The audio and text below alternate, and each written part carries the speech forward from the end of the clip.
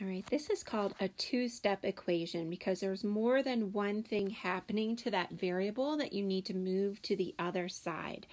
Um, the same as with one-step equations, though, I would recommend that you draw a line down where your um, equal sign is to signify the two sides of the equation. There's this side and there's this side. And then the same with the one-step equations, you're just looking at that variable and asking yourself what's happening that's keeping this variable from being by itself. So if I look at that n, it is smushed up against the 7, and I'm subtracting 4. So I'm multiplying by 7, and I'm subtracting 4. Those are the two things I need to undo so that n is by itself. So it says over here on the right, you always undo the adding or subtracting first, and then you undo the multiplying or dividing. Um, you could do it the other way, but it ends up just being messy. If I wanted to undo the multiplying, I would have to divide this whole side by 7 and this by 7. 31 divided by 7 is a decimal. 4 divided by 7 is a decimal. 7 divided by 7 is good, but the rest of it is a little messy. I would get the same answer, but um, it would just be you'll have decimals from the get go. So it's a little cleaner to um, always undo the adding and subtracting first. So I want to move that minus 4. And so I ask myself, what's the opposite of subtracting 4? So you target what you want to move. I want to move the minus 4, so I'm going to add 4. So I'm going to add 4 here, and I'm going to add 4 here. Remember, you have your equation. The next line is what you're doing. Then you draw a line, and you put what is left after I added 4 to both sides. So on the left side, I had 7, 9, 7n minus 4 plus 4 minus 4 plus 4 are like terms. And when I add them together, that cancels out. So I'm left with 7n. My equal sign still stays right there. And then I have 31 plus 4, which is 35.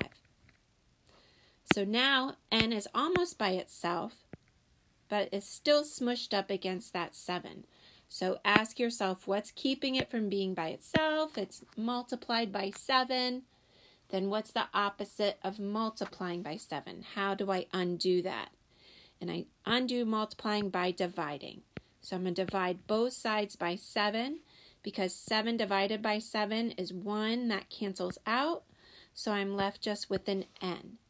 And then 35 divided by 7 is 5. So that's the answer. Let's go over another one. Um, something I do want to show you is before you start moving things around, you always need to simplify each side of the equal sign. So when you have parentheses, we'll just go over one of these. Before I start solving this, I first need to distribute that 2. I can't just move this 1 because that's not 1.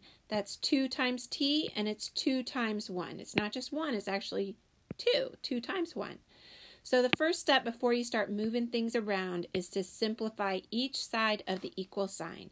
And so when I distribute that, I actually get 2t, and then 2 times 1 is 2 equals 10. Now I can start solving it like the last one. You look at that variable and say what's keeping it from being by itself. I'm multiplying by 2 and I'm adding 10. Then ask yourself what do you want to undo first? You always undo what's added or subtracted. So I'm going to undo that plus 2 by subtracting 2 from each side because 2t plus 2 minus 2, those cancel out because those are like terms. And I'm just left with a 2t equals 8. Now you ask yourself, what's keeping the variable from being by itself? It's smushed up against that 2. That means we're multiplying by 2. How do I undo multiplying by 2? Dividing by 2 because 2 divided by 2 is 1, so you're just left with t. and 8 divided by 2 is 4. So that is that. Let's do uh, one more. This next one has some dividing. So just like the others, you come up with your two sides of your equal sign and you ask yourself, what's keeping my variable k from being by itself? It's being divided by 4 and I'm adding 3. What do I undo first? The adding and subtracting. So how do I undo adding 3? I subtract 3. So I'm going to try to get rid of that by subtracting 3. And I have to do that on both sides. So k divided by 4 plus 3 minus 3. That plus 3 minus 3 cancels out. So I'm just left with k divided by 4. And on the right side, 14 minus 3 is 11. Now you ask yourself, what's keeping k by from being by itself? It's being divided by 4. So you want to undo dividing by 4. How do you undo dividing? You multiply. So often with when you're undoing dividing by multiplying, people will put it over to the side instead. Because what this is saying is 4 divided by 4. And I need to multiply by 4 over here as well. So I'm left with k, and then this is 44. If you would like to go over some more examples with me, then please come to my Zoom session at 1 or let me know if you want to meet at another time.